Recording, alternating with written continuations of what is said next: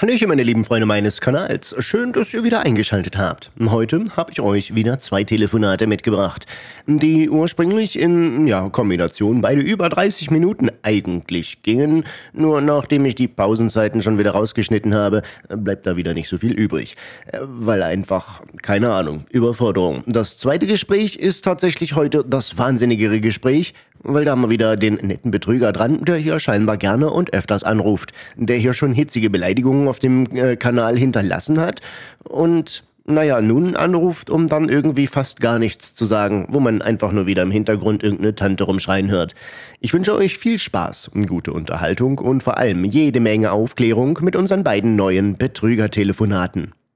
Doch zuerst, falls noch nicht geschehen, wäre es ganz nett, wenn ihr den Kanal abonniert, am besten gleich mit Glöckchen, weil John verpasst ja auch in Zukunft kein weiteres wahnsinniges Gespräch mehr. Hallo? Guten Tag. Hallo, schönen guten Tag, Herr Stein, Steinfeger. David Ja. Kupper spricht am Apparat von Finanzmarkt, Sie müssen mal Ihr Beobachtungscenter. Mikrofon vom Mund wegmachen, man hört Sie nicht. Wie- Ah, hören Sie meine Stimme jetzt? Äh, äh, Sie Ihr besser. Mikrofon vom Mund wegmachen. Ist das, das ist weg also. Im Moment, das ist ein bisschen weg, ja. Ja, jetzt ist besser. Und ist das besser jetzt? Ja. Okay. Herr, äh, Herr, Herr Steinfeger, also ich rufe Sie vom Finanzmarkt Beobachtungscenter, Payback Limited. Äh, darüber Auszahlungsprozedur. Äh, wie ich im System sehe, Sie haben auf dem Finanzmarkt Aktivitäten gemacht. Ist das richtig? Was sind für Finanzmarktaktivitäten? Also Sie haben Investitionen gemacht, die Sie verloren haben danach. Wie die betrügerische Firma. Die ich verloren habe. Wie kommen Sie denn da drauf? Ja, hier mal wieder das Betrugsmodell nach dem ursprünglichen Betrug. Also ihr wurdet schon öfters mal angerufen, habt eventuell Geld eingezahlt und dann ruft der hier an und hat angeblich euer Geld irgendwo, wo auch immer wiedergefunden. Das Problem an der Sache ist hier in meinem Fall, ich habe noch nie irgendwo Geld eingezahlt, aber bin bei tausenden Plattformen angemeldet, eben aufgrund des Kanals. Und nun rufen die einfach auf blauen Dunst nochmal alle Nummern an, die die irgendwo aufgekauft oder bekommen haben und tun so, als hättet ihr dort Geld verloren. Denn die Datensätze, die die anrufen, da sind schon ein paar Leute dabei, die da tatsächlich wirklich mal eingekauft haben, äh, beziehungsweise ihr Geld verloren haben. Und nun, die gehen jetzt hier einfach auf blauen Dunst los, rufen alle nochmal an und sagen, hey, ich habe Geld von dir wiedergefunden, das du verloren hast. Ja, egal, ob es nun der Tatsache entspricht oder eben nicht. So, und mh, wenn man hier jetzt nochmal Geld einzahlt äh, oder eben denen irgendwelchen Daten von euch gibt, dann ist das alles wieder weg. Die Kohle ist weg und eure Daten werden dann eben missbraucht. Und so kommt es dann eben auch zustande, dass die jedes Mal deutsche Namen am Telefon haben, wenn ihr denen noch irgendwie einen Personalausweis von euch sendet. Weil sie sich dann bei euch mit eurem Personalausweis wieder legitimieren können. Da ähm, passiert eben nochmal zusätzlich der Datendiebstahl. Zusätzlich wollen die meistens nochmal mit Anydesk auf eurem Computer, um wahrscheinlich noch irgendwie Zugriff auf euer Bankkonto zu bekommen. Es ist schon wirklich wahnsinnig, dass auch diese Methode leider immer wieder funktioniert. Also Blockchain hat uns notiert mit dem Portfolio, die ist unser Ihr Name und natürlich das, das alles ist darüber Ihre finanzielle Geschichten, ja. Aber die Äh, Blockchain funktioniert doch anonym und dezentral. Ja, genau das ist der Irrsinn an der ganzen Geschichte. Der erzählt mir jetzt hier, dass die Blockchain, also quasi die Datenverwaltung von den Kryptokonten, äh, jetzt die Daten gemeldet hat. Das ist kompletter Schwachsinn, weil die Blockchain funktioniert dezentral und anonym und ist verteilt auf all eure Sticks und Zugänge und allen Konten. Es ist halt eben ein dezentrales System bei Kryptowährung, nicht zentral wie bei der Bank. Hier ist es eben überall aufgeteilt, die ganzen Blöcke, wo die Daten gespeichert sind. Ist ein bisschen komplizierter und noch ein bisschen komplexer als jetzt hier beschrieben, aber so kann man sich das eben ungefähr vorstellen. Die Bank ist halt der zentrale Ort, wo die Kohle liegt und die Blockchain ist ein dezentraler Ort, wo die Kohle überall verteilt ist, auf den ganzen Kryptokontenzugängen oder Sticks zum Beispiel oder Programmen, die man dafür auf dem Rechner hat.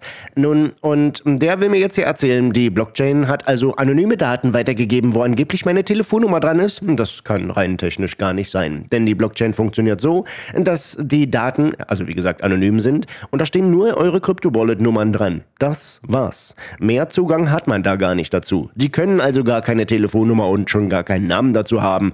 Es ist einfach nur absolut Wahnsinn. Und man muss sich auch hier mal vorstellen wieder, wer ruft bei euch an und sagt, ich habe Geld von euch gefunden. Das ist absoluter Blödsinn. Mal davon abgesehen haben die auch gar keinen Zugriff auf irgendwelche Kryptokonten, weil die sind verschlüsselt. Da habt nur ihr den Zugang zu und nicht irgendwelche fremden anderen Leute, Personen und wer auch immer da auch am Telefon anruft.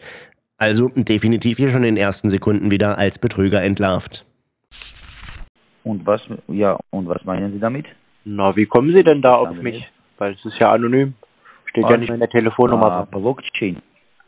Anonym ist für Sie Blockchain, aber für uns, wir sind Auszahlungsorganisation. Na, dann ist ja nicht anonym. Hat auch Untersuchungsabteilung. Das ist nicht anonym also. Wir sind Payback Limited und wir haben direkt Kontakt mit der Blockchain und also genau zu sein mit Untersuchungsabteilung von Blockchain. Die hilft auch zur internationalen Polizei.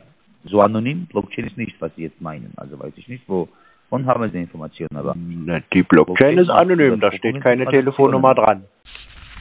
Und schon überhaupt nicht gibt's irgendeine Kryptopolizei, die da eure Daten wieder beschaffen kann. Es ist einfach nur hirnrissig. Es wird tatsächlich immer schlimmer, wenn die anrufen und immer plumper und immer dämlicher. Es macht überhaupt gar keinen Sinn, was der da erzählt. Tja, aber da muss man halt eben auch wieder Ahnung von haben. Und Menschen, die auf sowas hier hereingefallen sind, haben sicherlich im großen Umfang wenig Ahnung von dem Ganzen. Denn sonst wäre es halt ziemlich schnell aufgefallen, dass das so gar nicht hinhauen kann. Und Kryptopolizei, so ein Quatsch gibt's alles gar nicht. Ja, das steht nicht für Sie und nicht für andere Kunden, aber für Organisationen, Nee, auch die nicht. Auszahlungsorganisationen, zum Beispiel unsere Organisation. Und das ist, ja. Nee. Na, Und natürlich, wir haben Informationen, dass Sie haben, und nicht so eine Information, aber gibt ein gefrorenes Betrag unter Ihnen, die Blockchain uns hat gesendet. Wir haben es eingefroren. Ja, jetzt rufen wir Sie an, um die Auszahlung zu starten. Ist ja eine interessante Äh, Geschichte. E-Mail ist, da- wie bitte? Ich sage, es ist eine sehr interessante Geschichte. Äh, Das ist also nicht Geschichte, sondern da- das ist eine äh, Tatsache. Und ähm, Ihre E-Mail-Adresse ist al- alorioris. Also es ist quasi eine Geschichte, die auf Tatsachen basiert. Nach einer wahren Begebenheit. Wie bitte? Eine Geschichte nach einer wahren Begebenheit. Basierend auf Tatsachen. Ja, Tatsache ist, dass Sie haben Mhm. Geld verloren und das Geld Ja. eingefroren ist. Ja. Und wenn das gar keine Tatsache ist? Zu machen? Sind Sie interessiert, Auszahlung zu starten und Verifizierung zu starten? Ja, wenn es da Geld gratis gibt, dann nehme ich das, wenn Sie da was für mich haben, ja. Schon alleine die Frage, ob man interessiert ist, daran sein Geld auszahlen lassen zu möchten, äh, wie auch immer. Äh, was für ein Quatsch, die einem da immer wieder durchs Telefon rotzen. Es ist doch kaum noch auszuhalten. Also, ich meine, wenn es mein Geld ist, dann brauche ich daran nicht interessiert sein, sondern dann steht mir das rein rechtlich zu. Und da fragt man nicht, ob man das dann gerne haben möchte. Alleine das zeigt doch schon wieder, dass die überhaupt gar keine Ahnung haben, wie der ganze Bums in Wirklichkeit funktioniert. Okay, äh, zuerst bitte überprüfen Sie Ihre E-Mail-Adresse. Ich habe gerade eine E-Mail geschickt. Lorioris.knuspring, knuspring at mdccman.de. Da haben Sie jetzt gerade eine E-Mail hingeschickt. Genau, genau. Ich habe Und- gerade eine E-Mail geschickt. Und was steht da drin? David Cooper, da, E-Mail, E-Mail-Nachricht. In der E-Mail steht E-Mail-Nachricht. Nein, in dem E-Mail steht Nachricht. In der E-Mail steht nur das Wort Nachricht. Dass wir Geld gefunden haben. Okay, habe es geöffnet. Nee, muss ich mal gucken. So. Okay, bitte, nehmen Sie Zeit. Und was steht im Betreff? Wie bitte? Ah, Was steht im Payback Betreff? Limited. Auszahlungs... Ah, Payback Limited, Auszahlungsprozedur. Gucken wir mal, was bei Limited. Payback alles kommt. Mhm. Tja, da kommt gar nichts. Hm, Haben Sie mir nicht... Äh, können Sie zu mir E-Mail nochmal buchstabieren, bitte? Kann ich kann sein, ich habe auf die falsche E-Mail die. E-Mail war richtig. Äh, Lorioris. Knu Spring Knu Spring F M D zweimal C F U N Punkt de. Ja, aber Sie müssen das Mikrofon aus dem Mund rausnehmen. Hallo? Es hört sich nicht so gut an, wenn Sie das Mikrofon in den Mund stecken. Äh, Hören Sie und hören Sie jetzt meine Stimme? Ja, die höre ich. Okay. Also, Mhm. m, bitte dann erneuern Sie Ihre, äh, erneuern Sie Ihre, m, also, Was soll ich äh, erneuern? Sagen, äh, Ihre E-Mail, Ihre, I- äh, aktualisieren Sie zuerst. Mhm. So, hier von, da haben wir zwei Sachen Vom Dienstag was und vom Mittwoch ist da was gekommen. Nein, heute, heute meine ich. Oh, Heute habe ich da nichts. Vor zwei Minuten eine Mail geschickt. Können Sie schreiben, äh, die Name David Cooper in dem Suchfeld? David. Dann suche ich mal nach David. Äh, David Cooper, genau. David.cooper at paybacklimited.io. Ähm, so. Nee, unter David ist auch nichts Aktuelles. Hm, weiß ich nicht. Aber die Systeme zeigt nicht, dass E-Mail ist schon. ge- Kann sein, Sie haben das in dem äh, Spam, Spam bekommen. Nee, das kann nicht sein. Das mit dem Sparen, das mache ich nicht. So, nu? Okay, äh, haben Sie im Spam auch nicht gefunden? Na, ich habe kein Sparen. Nein, Spam, Spambox, Spambox. Ja, habe ich nicht. Also weiß ich nicht, die E-Mail ist schon geschickt, die System hat das zu mir gezeigt, weiß ich nicht jetzt also. Okay, wenn Sie wollen, starten wir direkt dann die Verifizierungsprozedur. Ja, wie geht es? Äh, zuerst, ähm, ich soll, äh, Sie brauchen eine Seite einzugehen. Was brauche ich? Bitte. Eine Sekunde. Ich, ich werde jetzt für Sie, ja. Äh, können Sie auf die Webseite eingehen? paybacklimited.io Payback Limited.io ted.io. Die Webseite wurde nicht gefunden.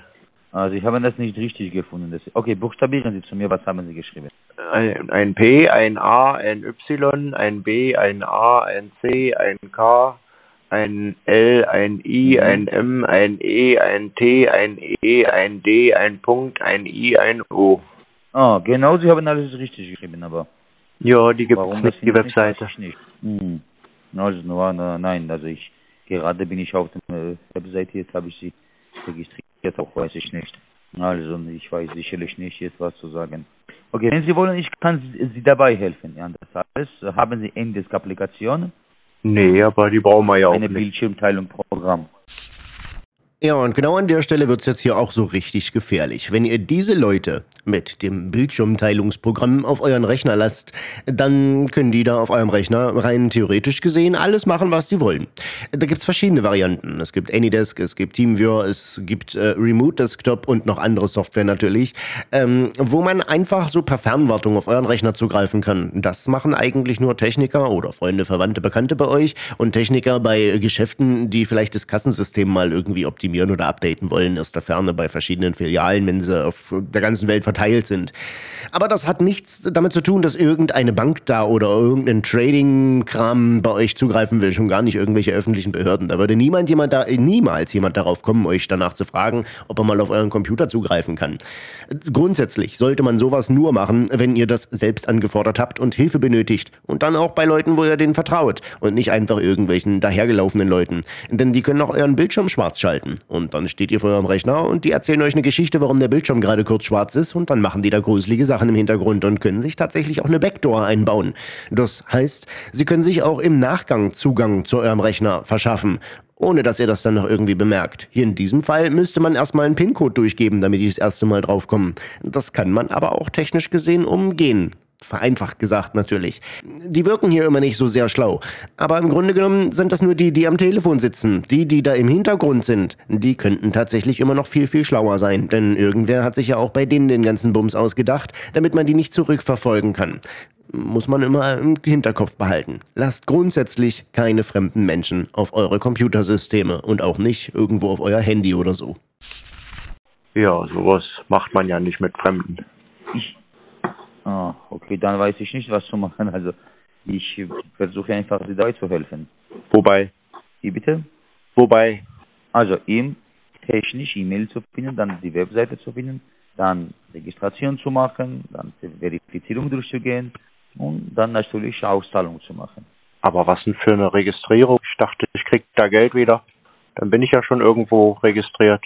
Ja, ich habe Sie gerade registriert, ein Kundenpotenzial und für die Auszahlung. Ja, aber dann müssen wir jetzt die Webseite finden, wo man da sich anmeldet. Paybacklimited.io ist das. Ja, aber paybacklimited.io geht nicht. Hm, dann weiß ich nicht. sicherlich. Dann müssen sie nochmal gucken, wie ihre Webseite heißt. Sonst funktioniert das nicht. Oh, Okay, also paybacklimited.io, also äh, P wie Paula, A wie Anton, Y, B, A, C, K, R, I, M, I, T, also T, E, Mhm. Die Webseite steht Get Your Money Back from a Scam. Ja, habe ich jetzt auch gefunden. Haben Sie gefunden? Mhm. Ist das a Get Your Money from a Scam, richtig? Ja. Ja, und dass man hier die Webseite wieder nicht gefunden hat, liegt auch ganz einfach daran, dass er seine Domain falsch durchbuchstabiert hat, weil es ist letztendlich nicht paybacklimited.io, sondern paybackltd.io. Tja, so kann man es natürlich auf keinen Fall finden. Okay, bitte. Gerade werde ich das alles editieren. Eine Sekunde bitte. Okay, okay. Ähm, ja, Sie brauchen jetzt, äh, was sehen Sie bitte um rechts oben? Your Account. Klicken Sie an Your Account bitte. Klicken Sie an diese Taste Your Account. Ja. Jetzt äh, schreiben Sie Ihre E-Mail-Adresse bitte. Welche denn? Orioris. Äh, Lorioris.knuspring, knuspring, at mdccfun.de. Ja. In dem Passwort schreiben Sie ABCD 1, 2, 3, 4. Bin drin. Sind Sie eingeloggt? Mhm. Okay, wie viel Betrag sehen Sie auf dem Balance bitte? Da steht 42,150.33. Genau, 42.150 Euro und 33 Cent. Das ist ein Mhm. Betrag, was unter Ihrem Namen eingefroren war. Das hat natürlich Blockchain entgefroren. Also wir haben wieder eingefroren, bis die Verifizierung und äh, auch die Zirkulationsprozedur zu machen. Ja? Okay, schauen Sie. Hm, Starten wir jetzt die Verifizierung an, richtig? Wofür brauchen Sie Bildschirmteilung-Programm Anydesk? Sicherlich. Damit machen wir Dafür braucht man doch Postident. Von Ihrer Sicherheit. Wie bitte? Dafür braucht man doch dann Postident. Nein, Identifizierung ist schon gemacht. Jetzt geht es um Ja. Auszahlung. Wofür brauchen wir so. Sicherheit Mhm. zu verifizieren und die, die Konten Nee. zu verifizieren. Genau. Gerade haben Sie gesagt, die Verifizierung ist schon gemacht. Nein, Verifizierung ist noch nicht gemacht. Aber Es gerade haben um Sie gesagt, die ist schon gemacht. Sicherheitsverifizierung, Kontenverifizierung, nein, Einlogung haben wir gemacht. Also er hat ganz klar und deutlich gesagt, dass äh, die Verifizierung schon gemacht ist. Hier nochmal der Ausschnitt dazu. Nein, Identifizierung ist schon gemacht. Jetzt Keine Ahnung, aber die sind scheinbar so verpeilt, dass die gar keine Ahnung von ihrem eigenen Bumster haben und sich selber immer wieder in irgendwelche Widersprüche verstricken. Das ist schon absolut entzückend. Ja, Sie haben gerade gesagt, die Verifizierung ist schon gemacht. Haben Sie gerade gesagt. Nein, nein, nee, nein. Doch, doch. Nein, nein. Doch, doch. Also, dann ich, ich meinte E-Mail-Verifizierung, aber das ist nicht äh, genug. Aber das haben Sie ja anders gesagt. Sollen wir? Ich habe das gemeint. Ja, aber wenn man was anderes sagt, als man meint, dann kommt ja was anderes dabei raus. And, and, anderes habe ich nicht gesagt. Ich habe am Anfang Doch. gesagt, dass wir Verifizierung, Zirkulation und Auszahlung. Nee, das können wir auch nochmal zurückspulen, das haben Sie gesagt. Okay, also jetzt brauchen wir Verifizierung zu machen. Ja, Haben Sie Index-Applikation, die Verifizierung Nee. zu starten? Postident könnte ich anbieten. Post, aber was ist Postident? Eine Verifizierung macht man über Postident in Deutschland. Nein, bei uns brauchen Sie kein Postident. Bei uns brauchen Sie Aber mit das ist doch sicher. Applikation durch Verifizierung einzugehen. Anydesk Natürlich ist ja zum alle Datenabgleich. Beträge aus. Das ist ja nur ein Remote Also, Das nutzt man ja nicht für irgendeine Verifizierung. Zum Verifizieren brauchen Sie ja das keinen Zugriff auf meinen? Computer. Ja, ja, das ist, dafür brauchen wir das. Sicherlich, wir brauchen das. Weil so geht Echtzeitverifizierung. Nee, haben das geht nicht. Echtzeitverifizierung. Das geht anders. Das macht man Das mit geht, es geht. Weil Weil- Anydesk ist ja ein Ja, Remote wo das nicht Desktop Programm. Das hat ja nichts mit Verifizierung zu tun. Genau. Und dann ist ja Anydesk auch noch Ja, bekannt dafür, dass es Intelligenz macht Verifizierung mit dem Anydesk. Nee, das ist ja, Also, das ist ja nicht hat sicher. eine schlechte Erfahrung gehabt, weiß ich nicht. Anydesk aber- ist ja ein gefährliches Programm. Das war ja neulich erst in den Nachrichten. Da Ja. war ja gehackt, Anydesk. Da waren ja alle Kundendaten offengelegt. Ja, das wurde ja gehackt, das Programm. Das ist ja schon sehr unsensibel, dann mit so einem Programm zu arbeiten. Ja, das, wir wollen ja die Daten schützen und nicht offenlegen. Das macht man ja nicht mit Anydesk. Da legt man ja die Daten offen. Wenn man seriös ist, dann nimmt man Postident. Nur Betrüger nehmen Anydesk. So. Ja. Und das ist nicht so. Äh, Das haben Sie bestimmt wegen Angst so gedacht. Nee, das macht man Also, wegen Vernunft, nicht die. Verifizierung brauchen wir Anydesk. Nee, das Aber nehmen ja nur Betrüger. Oder nicht? Also, Das haben ja nur Betrüger, das Anydesk-Programm. Okay, wollen Sie nicht, also wollen Sie nicht das so machen?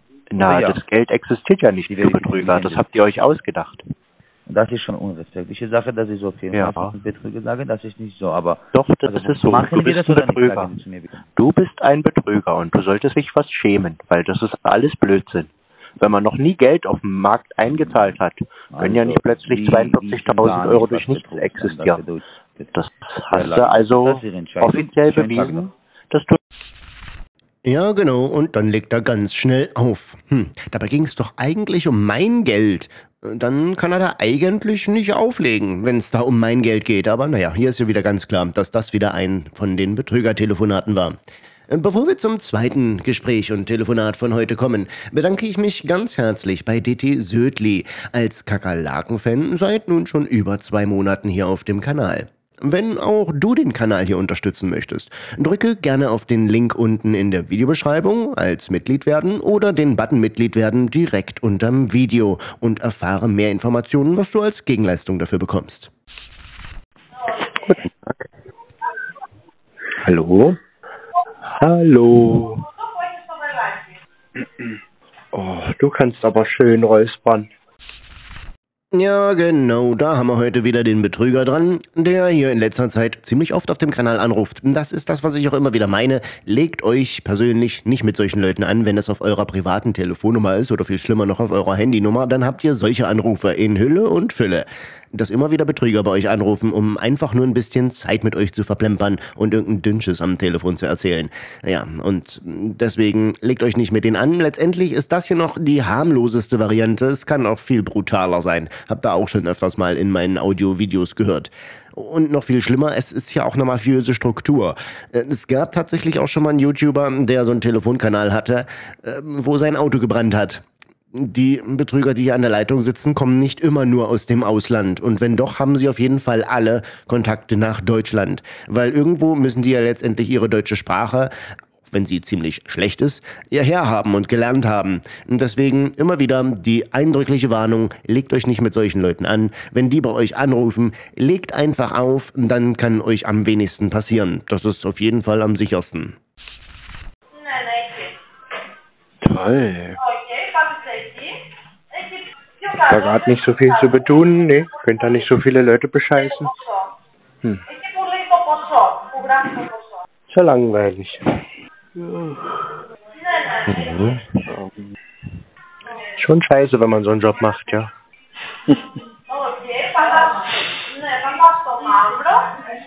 Tja. Hm. Muss man mal was Anständiges machen. Dann muss man da nicht in so einem Gammel-Callcenter sitzen.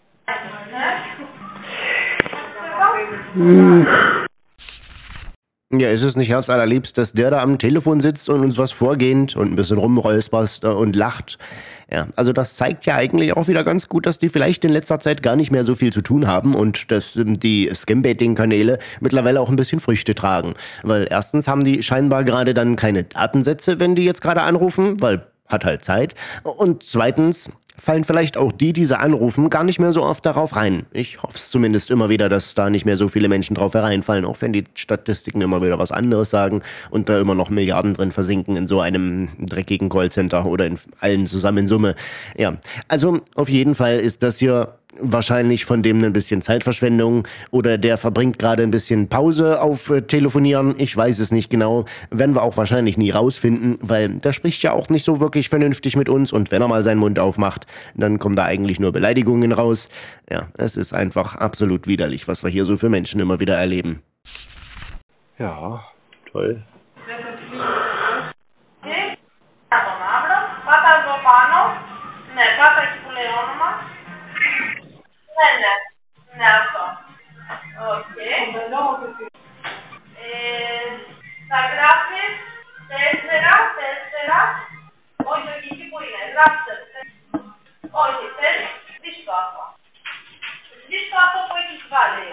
Hallo? Jetzt ist mir das so langweilig bei euch. Okay, na mhm. to jest. To jest sezon. Pano pada, pano słyszeliśmy. Ja, aber schön ist, dass er sich dann noch rückversichert, dass ich noch am Apparat bin und den ganzen Bums da mitkriege. Aber vielleicht könnt ihr mal in die Kommentare schreiben, welche Sprache das da von der Tante aus dem Hintergrund ist. Ist das Italienisch oder was haben wir da schon wieder für eine Sprache? Ja, also in den Callcentern sitzen natürlich nicht nur, naja, vermeintlich deutschsprachende Kakerlaken, sondern eben auch äh, ja, Scammer, die in allen anderen Sprachen telefonieren. In so einem Callcenter ist nicht nur in Abteilungen aufgeteilt, die sitzen da alle in einem Raum meistens zusammengepfercht, auch wenn in dem seinem Callcenter hier das immer wieder ziemlich leise ist, aber die sind teilweise auch echt sprachbegabt, auch wenn die Sprachen, die sie alle sprechen, meistens sich ziemlich furchtbar anhören, weil sie, weiß ich nicht, alles nur als Crashkurs mal irgendwo genossen haben. Ja, aber die telefonieren nicht nur nach Deutschland, äh, sondern eigentlich in die ganze Welt. Rauchen.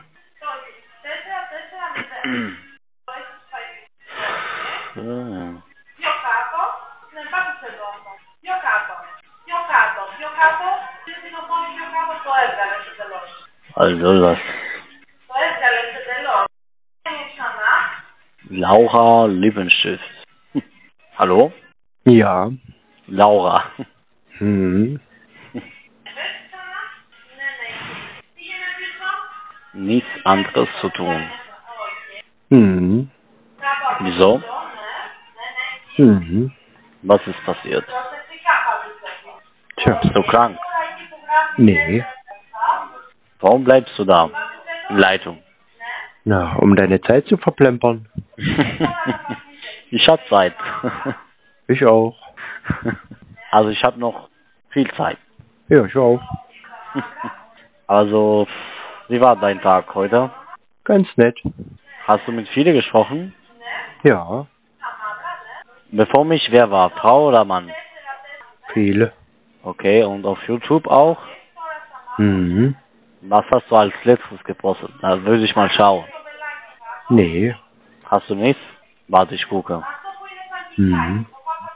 Auf YouTube gehen. Moment. Kleinen Moment, ja. So. Okay. Abzock. Okay. Mhm. Es ist aber auch schon immer interessant, dass die Betrüger meinen Kanal wahrscheinlich schon an den Datensätzen auch erkennen. Na gut, aber der ist ja jetzt hier sowieso oft bei mir schon gewesen und ruft ja nun schon aus Gnatz an.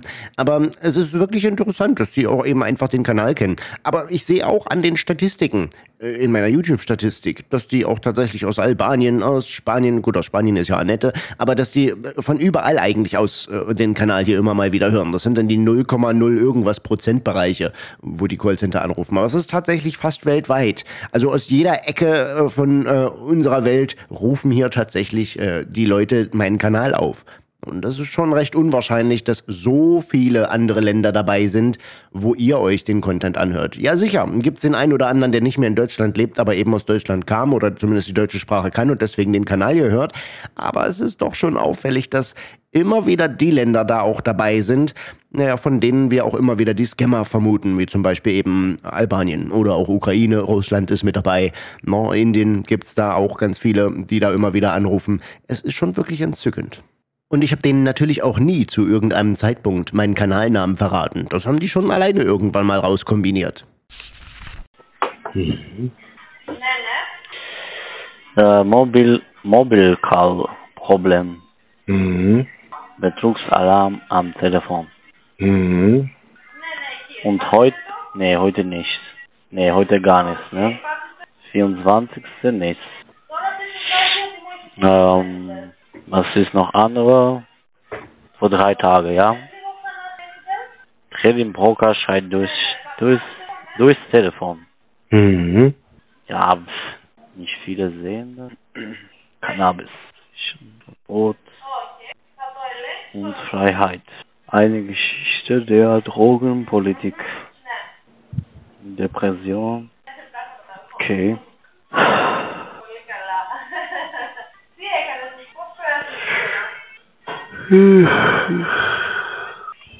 Kakerlaken Party Hörspiel. Wahnsinn. Aus dem Scam-Anruf. Hallo? Mhm. Achso, okay, du bist da. Den Kanal blockieren. Okay, mal schauen, ob ich das kann. So. Okay, da steht, dass es dauert ein paar Minuten. Mhm. Okay blockieren. So. Okay, fertig. Fertig. Toll.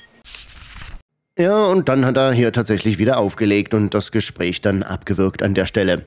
Naja, aber wenn er dann den äh, Kanal hier blockiert hat, gut, dann kann er allenfalls nicht mehr den Kanal besuchen, aber eine Auswirkung auf den Kanal selbst hat das überhaupt nicht. Er bekommt einfach nur meine Inhalte nirgendwo mehr angezeigt und ich bin weg für ihn. Schon interessant. Nun ja, ich hoffe, euch hat das Video wieder gefallen. Wenn ja, dann zeigt es mir gerne mit einem Däumchen nach oben. Wenn ihr mögt, dann klickt auch gerne noch auf eins der nächsten Videos, was euch hier in der Playlist angezeigt wird. Die Welt ist böse, passt auf euch auf. Bis zum nächsten Mal. Ciao, ciao.